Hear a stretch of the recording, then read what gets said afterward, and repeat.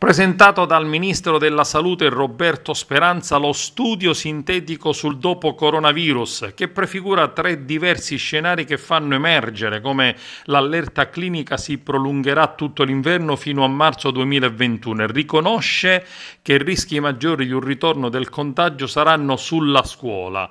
Non è nemmeno noto l'impatto che potranno avere le misure di riorganizzazione scolastica che si stanno mettendo in campo in questi giorni. A scuola, ripeto ogni giorno, speranza si tornerà e si tornerà in sicurezza.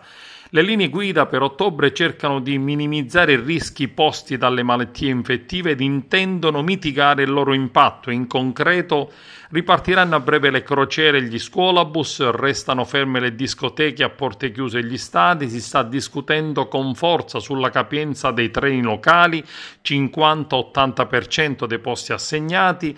Gli esperti dell'Istituto Superiore ammettono onestamente di non sapere in che condizioni arriveranno a fine estate e prefigurano prefigurano tre possibili scenari. Il primo, una situazione sostanzialmente invariata, focolai presenti, impatto modesto delle scuole ma tenute sotto controllo. Il secondo scenario evidenzia una situazione di trasmissibilità sostenuta e diffusa, in questo caso dei nuovi focolai, inclusi quelli scolastici. Infine, il terzo scenario, situazione di trasmissibilità sostenuta e diffusa con rischi di tenuta del sistema sanitario. Allo stato attuale appare evidente che la scuola è al centro delle attenzioni del governo, la grande incognita di fine estate con il suono della campanella fissato al 14 settembre.